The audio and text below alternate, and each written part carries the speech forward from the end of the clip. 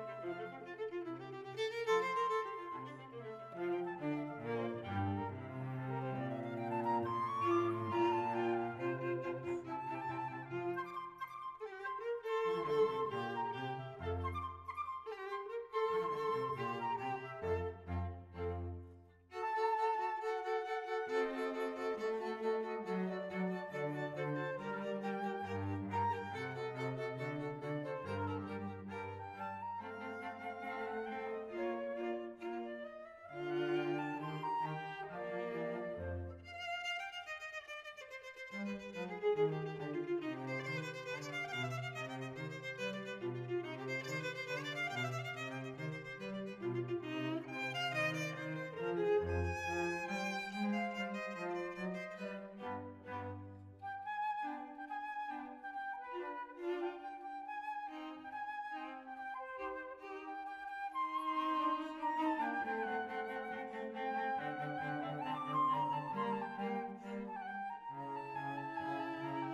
Música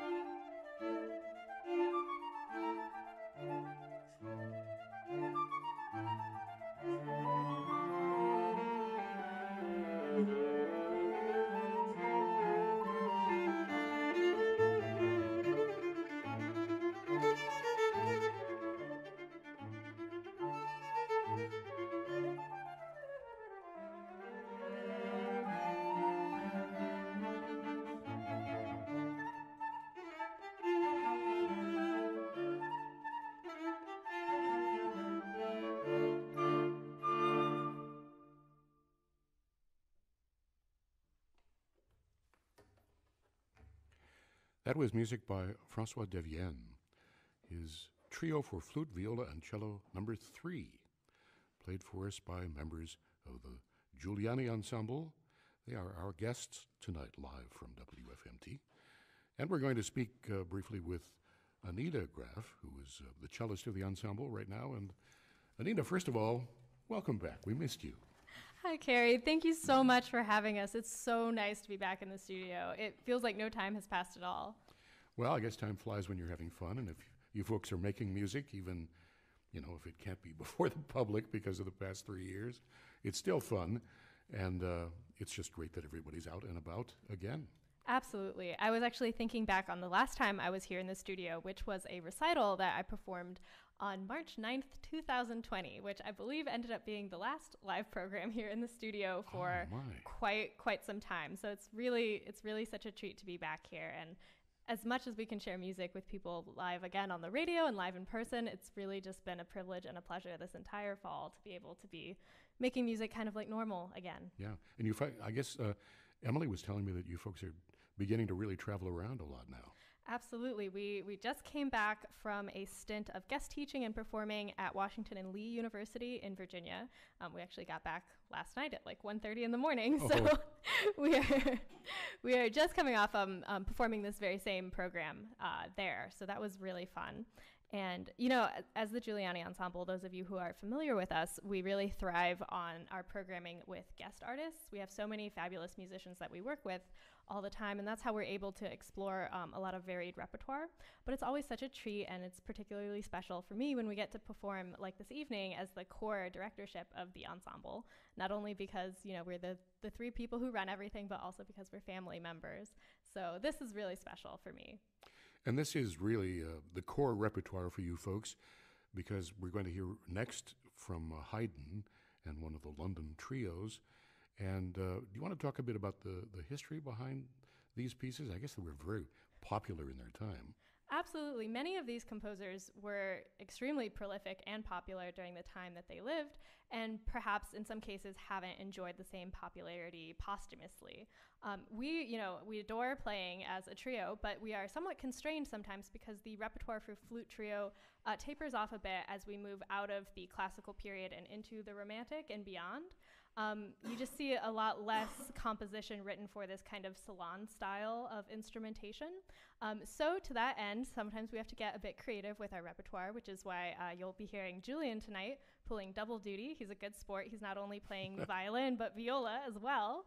And sometimes we uh, search high and low to look for works that we think deserve a second glance. Um, and that's why there might be some composers on the program this evening who might be unfamiliar to listeners, like Francois Devienne or Franz Danzi, who were, again, very successful during their lifetime, and some of their work is just not performed quite as often. Uh, but we really cherish the opportunity to bring these kind of overlooked masterworks to audiences. Well, let's go to Haydn now, and this is one of the uh, London trios, as I mentioned, the third in G major, There were four of these that were written, and they were written uh, during one of uh, Haydn's journeys to uh, England, and he was a huge success there. They loved everything he did. Written originally for two flutes and cello, and I think as a, a house gift actually for a music loving uh, baron. They were published as a set of four in 1799 by the Earl of Abingdon, who was a, also, I think, a flute player. And uh, Haydn, always the entrepreneur, was well aware of the fact that flutes were growing very quickly in popularity at this time, very fashionable as the amateur instrument of the time, second only to the harpsichord.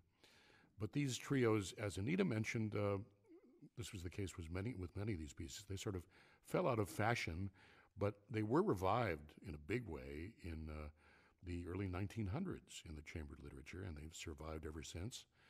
And uh, they have survived because they're they're vital, they're very charming, and they're really fascinating to listen to because of their technical requirements as well. So here is the London Trio Number Three in G major by Haydn. The three movements are marked spiritoso, andante, and allegro.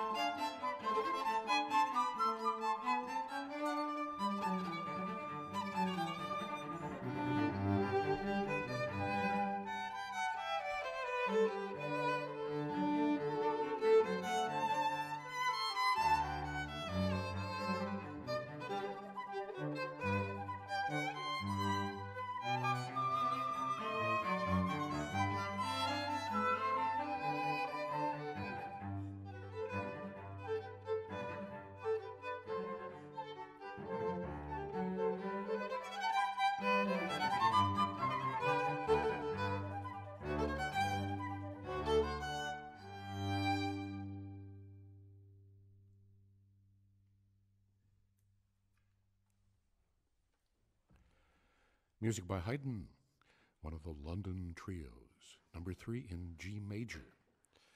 We heard flutist Emily Seabury Graf, violinist Julian Graf, and cellist Anita Graf. Emily gets to sit this one out. The strings now in music by the Soviet composer Reinhold Glière, and this is the only piece tonight really from the 20th century, although just barely. Reinhold Glière was a Soviet composer of Polish German heritage. He lived from 1874 to 1956, and his music could probably be described as uh, part of the Russian Romantic tradition. And because he often incorporated folk and nationalistic elements into his music, he was favored by the regime, which sometimes wasn't easy. These pieces date from 1909 they are miniatures, each of them with a distinct character, and their designations are prelude, gavotte, berceuse, canzonetta, intermezzo, impromptu, scherzo, and etude. Music by Glière, played now by violinist Julian Graf and Anita, Anita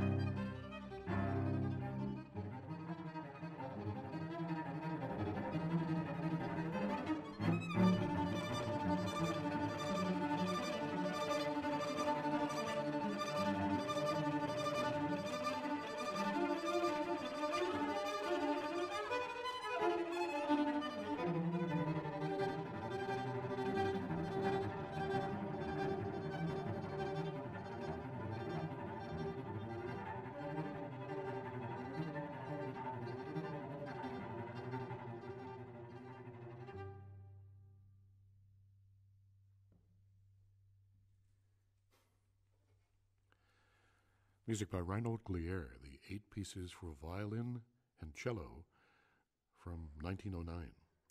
Played for us by violinist Julian Graf and cellist Anita Graf. The Juliani Ensemble, our guests tonight, live from WFMT.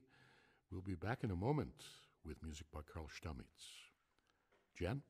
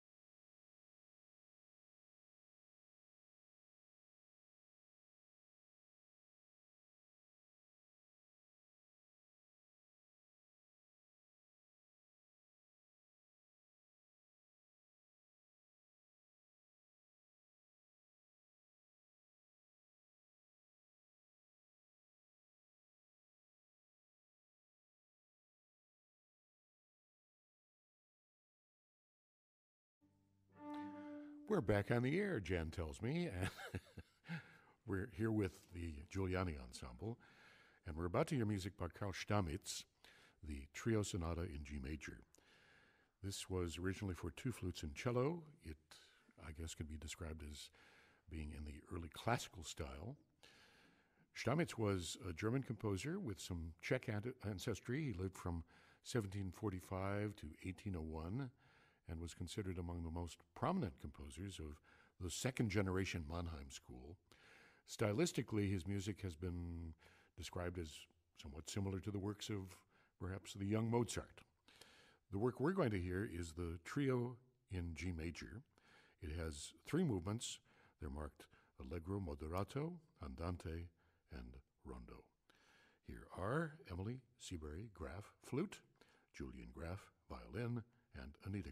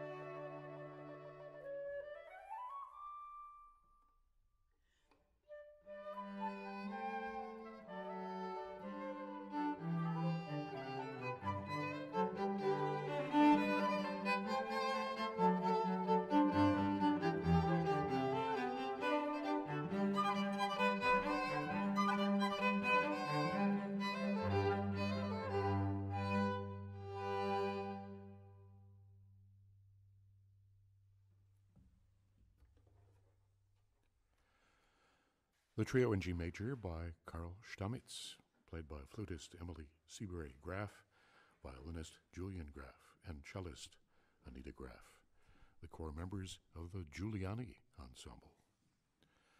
We have one more piece to go. It's by Franz Danzi, but before we get there, I want to talk with Julian a bit about what you folks are up to these days. You showed me this beautiful picture of a barn. Hi, yeah. Is it in Wisconsin, did you say? Yeah, that's just over the border of Illinois in Wisconsin along the Mississippi. It's um, in this small little town called uh, Potosi. And you intend to renovate and do concerts there. Yeah, um, we're starting next summer. It's called the Tallgrass Chamber Music Festival. Um, and it's called Tallgrass because um, the whole area is uh, tallgrass prairie. Um, and so we renovated the barn, and there's another smaller barn that we've turned into a refreshment area. And we are going to be having concerts there next um, late June and early July. So the renovation is complete at this point or Um, about be? almost complete. We're we're still building the stage. And how did you decide that this was the barn that was going to work for you? Well, it is uh, my parents' barn actually. Okay. Yeah, so it was the uh, barn that was there, and um, we were looking for venues to play and stuff. And I was up in the up i- um, in the Wisconsin practicing, and I it just sort of clicked that uh, the barn is there, and it's this big, wide open space, and we should just do concerts there. And it just went from there. Did you have to do anything in the way of acoustical treatment to make it sound even better? No, actually, I had this idea without ever playing in the barn at all. And when we went to investigate, there was a whole bunch of hay. It, it had been used as an actual farm. And so there was a whole bunch of hay and various farm equipment, and that really deadened the sound. And when I tried playing there, I was a little bit like, oh, uh, this might not work out so good. But then um, this summer, we cleared out everything. Um, we air um, air blew and um, power washed the whole the whole building. And once we did that, the the sound really came alive, and it's just this really nice, warm, and everything in there is museum quality. It could easily be everything in there could easily be in, in the art institute or the Met or more. Um, and we are starting a, a series that is a little bit um, it combines art and culture and music and it's, it's this very exciting idea that we get to step outside of ourselves a little bit and we get to talk about the overarching ideas behind certain pieces and certain pieces of art and connect them and really draw bigger ideas and bigger messages from them. Wonderful idea. So that's starting December 10th is our first concert. okay. And do you know what will be on the program for that? We the the first program is all about celebration because it's because it's holiday themed. Yep. So it is there's some we're gonna do some stuff like we're playing tonight with of Mozart and Haydn, but we're also including more contemporary stuff like Caroline Shaw Oh, and Jessie Montgomery. Great. So I'm I'm really I'm really excited about that as well. Where can folks go to find out more about it? Well, they can go The movements of the work Allegretto, Larghetto, Minuetto, and Polacca.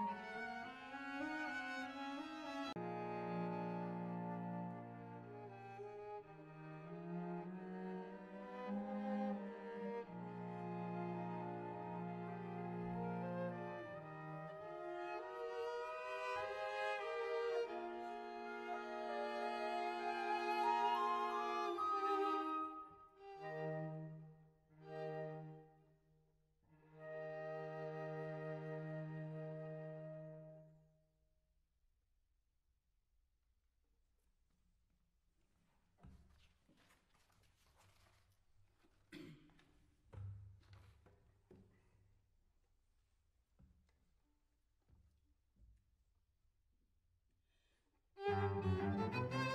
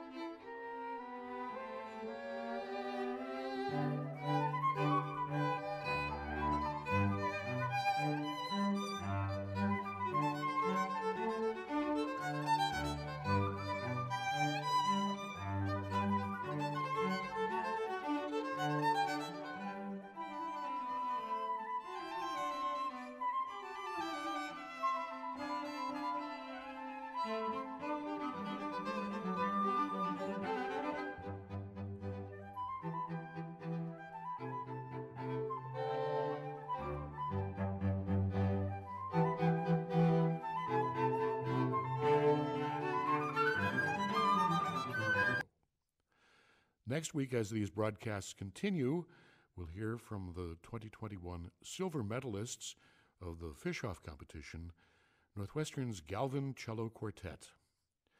I'm Kerry Frumkin, host and producer of these programs, hoping you'll be with us again next Monday night at 8 for more music and performance live from WFMT.